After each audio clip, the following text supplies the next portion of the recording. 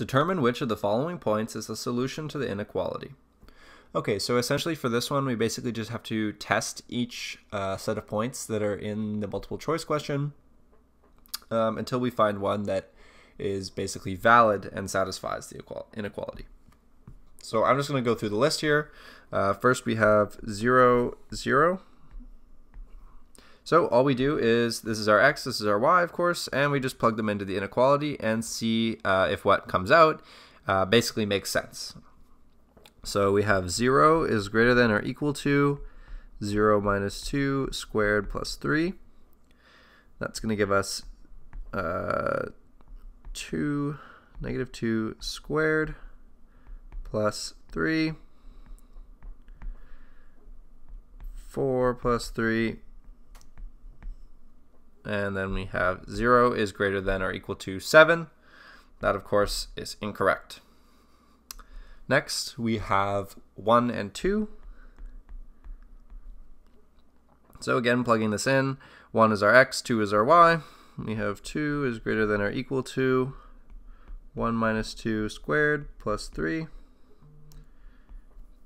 And then we have 2 is greater than or equal to 1 minus 2 is negative 1 squared plus 3 greater than or equal to negative 1 squared is just positive 1, and then plus 3 will give us 4.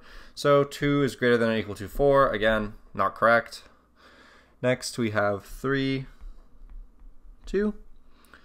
Okay, and so we'll have 2 is greater than or equal to 3 minus 2 squared plus 3. 3 minus 2 is 1 and we end up with the same as before.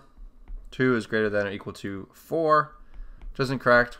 And so therefore we can tell that the last one, 4 and 12, will be correct because we have no other options, but uh, let's just plug it in just to be sure. So we have 12 greater than or equal to x, oops, 4 minus 2 squared plus 3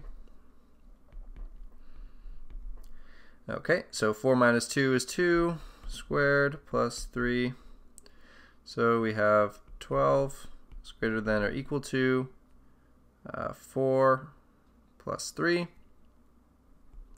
which is 7.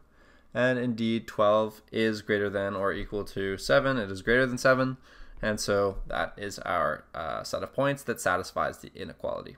Okay, so that's all for this one. A bit tedious, but well, what can you do? Okay. So I hope that helps. Thank you. Bye.